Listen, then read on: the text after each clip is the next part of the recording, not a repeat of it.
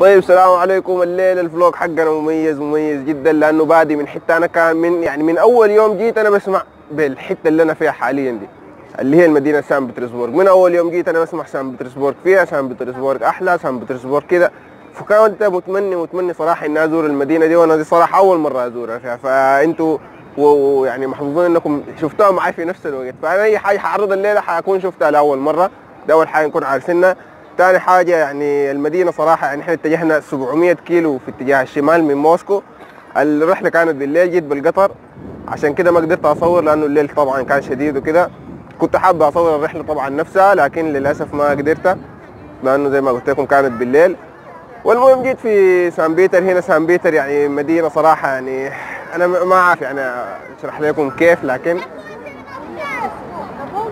أول حاجة اليوم مشمس لكن باردة باردة جدا يعني. أنا ما قدرت الليلة صراحة أطلع من غير الكورتكا. ما قدرت اطلاقا. فاليوم كان صراحة بارد جدا واضطريت إني يعني ألبس ثقيل. بصراحه يعني في رياح رياح قوية يعني لو حسيت الناس كلهم لابسين جاكيتات وكده. ف! وات Negi! شتو؟ anyway. فده ال vlog حقنا الليلة. طبعا سان بيتر. اول أول معلومة حنعرفها عنها إنه فيها اعمق مترو على سطح الأرض. يعني the deepest metro station in the world قاعدة في سان بيتر هنا. موسكو طبعا بالمناسبه فيها أكبر مترو وسان بيتر فيها أعمق مترو. اللي هي أزيد من 100 متر تحت الأرض. فدي حاجات كلها حنشوفها الليلة حنبدأ اليوم حقنا. حنمشي نشوف الأماكن الحلوة هنا في المدينة. صراحة عملت لست بسيطة في الحتات اللي عايزين نشوفها. حنمشي نشوفها. أصلا يعني الحتات كان نفسها أشوفها من زمان. حمشي أشوفها. ونشوفها مع بعض وأخليكم يلا نكمل الليل اليوم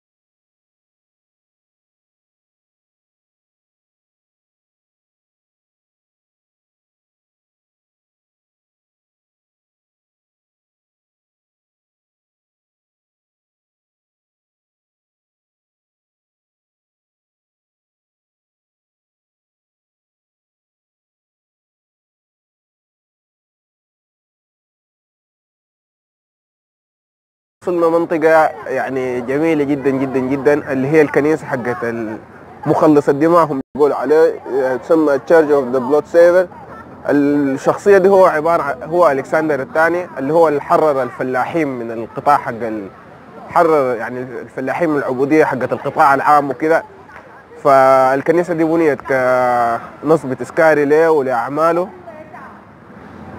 وهو ألكسندر الثاني بنيت في القرن التاسع عشر تقريبا. يعني صراحة أنا ما عندي معلومات كثيرة لكن ده يعني دي الحاجات اللي عارفها عنها. المنطقة دي هي مبنية في المكان اللي اغتيل فيه ألكسندر الثاني نفسه فهو اغتيل في الحتة اللي ورانا دي unfortunately.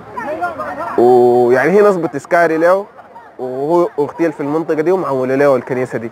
نيجي جنبها هنا بنلقى ال canal من الأسماء الثانية حقت سان بطرسبورغ هي Venice of حقت ال ال- ال east يعني يسموها Venice حقت الشرق. ليه؟ عشان فيها ال- ال canal دي. اللي كده؟ نمشي نشوفها. where to move الكاميرا المهم عشان القناة اللي- ال channel دي القناة دي يعني. القناة دي هي ممتدة مش على كامل المدينة على أجزاء كبيرة من المدينة وبرضه فيها tour سياحية بتتعامل كده كنت عايز أمشي واحدة لكن للأسف يعني الجو بارد شديد ما قدرت أقعد غير ده. يعني بنتظروا البوت لما يتملي حتى نطلع فصعب شوية. صراحة الجو الجو بارد جدا في رياح لو ملاحظين الناس. لابسة تقيل عديل باعتباري ما لابس يعني. حاجة خفيفة جدا.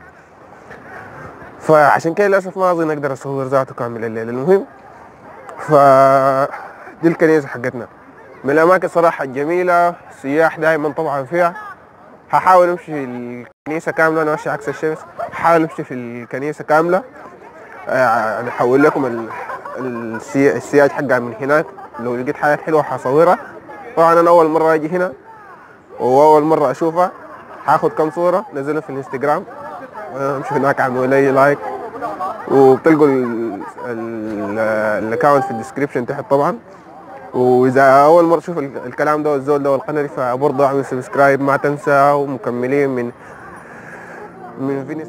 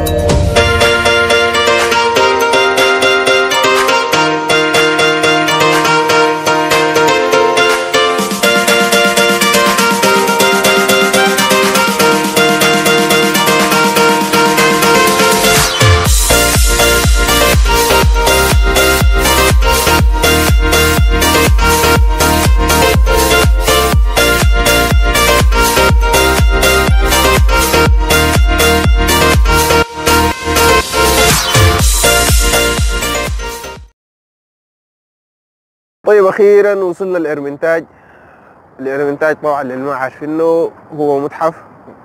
القصر ده أو المتحف ده هو من أكبر المتاحف في العالم وفيه أكثر من 3000 قطعة أثرية وحاصل على رقم جينيس العالمي في أكبر يعني متحف فيه عدد بتاع لوحات. يعني صراحة جميلة جدا جدا. المبنى يعني بس. يعني الشمس غابت والتصوير ما بالجودة دي. وأنا بردان قاعد أجيب في الكاميرا ما اعذروني فيعني الجودة الجودة يعني صراحة يعني الجودة شنو؟ الجمال حقه والله حاجة يعني مبنى صراحة تحفة تحفة جدا جدا. والساحة اللي إحنا فيها دي اسمها ساحة القصر طبعا وهي يعني كان حدث تاريخي يعني في التاريخ الروسي. كان من أبرز الأحداث اللي حصلت فيها البلودي ساندي الأحد ال... الأحد الدموي. وكان تاني حصل فيها كان ثورة بدأت من هنا اسمها باشليف ولا ناشليف ما عارف. Russian people. ف فالمهم دي الأحداث اللي حصلت هنا في الإرمنتاج وفي الساحة حقت القصر. الناس دي مالون يا أخواننا. فالمهم ديك الكنيسة طلعناها المرة اللي فاتت. اللي شفناها قبل الحركة دي تظبط دي الكنيسة اللي شفناها المرة اللي فاتت ودي الحياة الموجودة هنا في المنطقة دي. ودي الأصحاب الجداد. ها يا اخوانا كده نمشي من المكان الثاني ونكمل الاقيكم بعدين